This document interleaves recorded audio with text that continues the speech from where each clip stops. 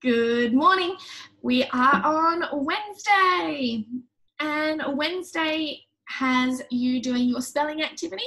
And your first spelling activity for today is to rewrite each of your spelling words, and you need to use a different colour for each of those words. So I've given you two examples here. We've got foreign each letter has a different uh, colour and then we've got superb each letter also has a different colour there.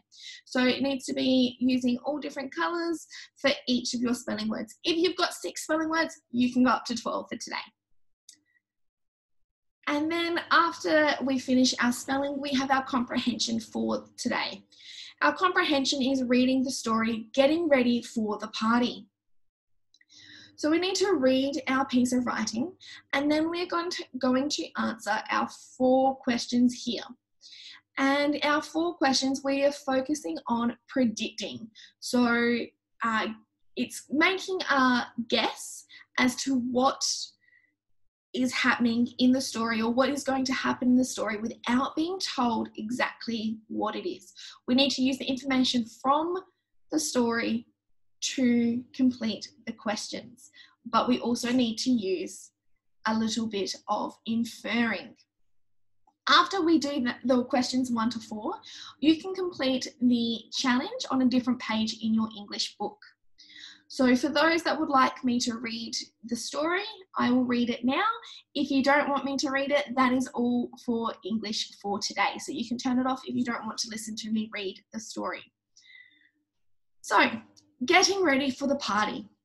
Marco, do you want Spider Man or Batman on the balloons? asked Mum. I went with Spider Man. I think he is definitely my favourite superhero.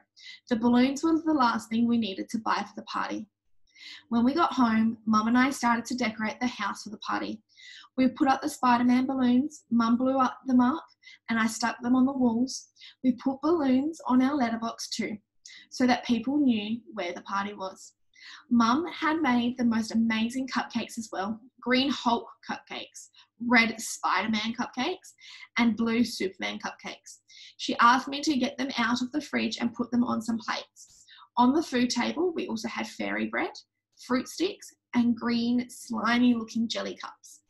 Marco, it's time to get into your costume, Mum yelled from the kitchen. I bounced up the stairs. I was so excited that the day had finally arrived. I put on my costume just in time. Ding dong, the first guest arrived. So, our questions what is the theme of the party and why do you think this?